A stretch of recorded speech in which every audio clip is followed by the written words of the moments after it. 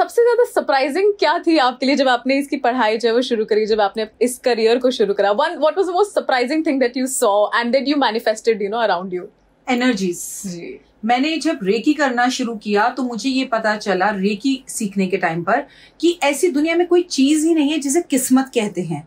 क्योंकि there is no किस्मत there is nothing किस्मत नहीं है किस्मत आप खुद बनाते हो। जैसे आपने आ, कहीं इंटरव्यू दिया example I am giving you और आप कहते हैं ओ यहाँ तो मेरा होगा ही नहीं मेरी तो किस्मत ही फूटी है मेरा तो कभी कोई काम हो ही नहीं सकता।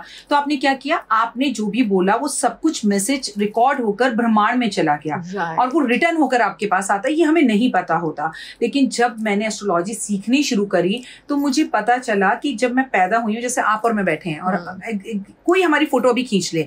आज से 20 साल बाद भी यही कलर रहेगा आपकी ड्रेस का और मेरी ड्रेस का भी यही रहेगा। और हम दोनों ऐसे ही लगेंगे। एग्जैक्टली exactly जब आप पैदा होते हैं तो आपके ग्रहों की एक फ़ोटो खींच ली जाती है। हम्म। वो ग्रह तो वही होते हैं राहु यहाँ है केतु यहाँ है सब कुछ वही रहता है। तो फिर चेंज क्या होता है? फिर किस लिए रेमेडी करनी है? No hmm. आपको पॉजिटिव होना है दुआओं में रहना है और ये सारी शक्ति जो इस वक्त मैं और चेतना जी बोल रहे हैं सब कुछ ब्रह्मांड में और की तरह घूम रही है। ये रिटर्न होकर आएगी। तो why don't say we positive things wow मैं बहुत खूबसूरत हूँ मैं बहुत एनर्जेटिक हूँ मेरी तो नौकरी लग गई मेरी तो निकल पड़ी मैं तो गाड़ी बड़ी लूँगा घर बड़ा लूँगा। मतलब आप जो बोलेंगे वही रिटर्न में आएगा लेकिन नाइन्टी परसेंट लोग तो नेगेटिव ही बोलते हैं। एब्सोल्युटली और यू you नो know, मैं लोगों को ये चीज़ समझाने की कोशिश करती हूँ कि देखिए आप अपने कर्मों से बहुत सारी चीज़ें बदल सकते हैं। The more positive you are the better it is और अ, मैं राखी जी यहाँ पर ना थोड़ा सा आपसे यही पूछना चाहूँगी कि जैसे हम कहते हैं कि सूर्य की रेमेडी आपको करनी चाहिए या फिर मर्करी की रेमेडी आपको करनी चाहिए।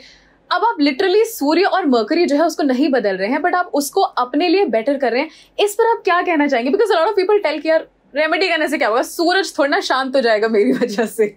बहुत अच्छा आपने सवाल पूछा और इससे बहुत सारे लोगों को एक बात का जवाब मिलेगा। सूरज को जल देने से सारी दुनिया मिलकर भी जल दे ले तो उसकी प्रकाश उसकी जलन उस तो खत्म नहीं हो सकती। Exactly. फिर आपकी मेरी ज़िंदगी में क्या होगा? एग्ज़ाम्पल से बताती हूँ। मेरे को ना एग्ज़ाम्पल से चीज़ें समझाना बहुत अच्छा लगता है।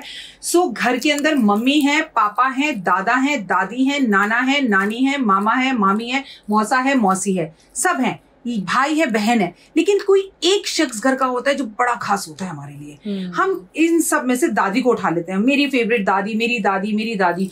अगर आप अपनी दादी से बहुत ज़्यादा प्यार करते हैं, उनसे ज़्यादा चिपकते हैं, आप उनके ज़्यादा अट्रैक्ट रहते हैं आते जाते दादी को पूछते हैं फ़ोन करते हैं गिफ्ट लाते हैं, तोहफे लाते हैं, दादी भी आप पर मरती हैं। तो नेचुरली सब कहेंगे तो दादी का चमचा है। दादी भी इस पर मरती है तो दादी का चमचा है। तो कहीं ना कहीं ऑटोमेटिकली आप जिसको ज़्यादा पूछ रहे हो, जिस पे ज़्यादा ध्यान दे रहे हो कॉन्सेंट्रेट कर रहे हो, उससे आपका रिलेशन उससे बाउंडिंग बड़ी स्ट्रांग हो जाती है। एग्जैक्टली exactly ग्रह करते हैं।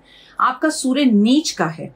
आपको सरकारी नौकरी चाहिए और सरकारी नौकरी देने का कारक कुंडली के अंदर सूरज है। हम्म। अरे भाई जल देने से शांत नहीं कर रहे हैं। हम उन्हें मक्खन मार रहे हैं उन्हें खुश कर रहे हैं उन्हें बता रहे प्लीज़ दे दो ना क्योंकि आप ही के पास है ये। जैसे जायदाद दादी के पास है आशीर्वाद दादी के पास है। और हमारे पापा को मनाने की चाबी कि मुझे विदेश जाना है नहीं जाना ये दादी के पास है। हम्म। दादी पापा को मना लेंगे। This is exactly what we do with अग्रह Absolutely. And that is such a wonderful example, Rakhi ji.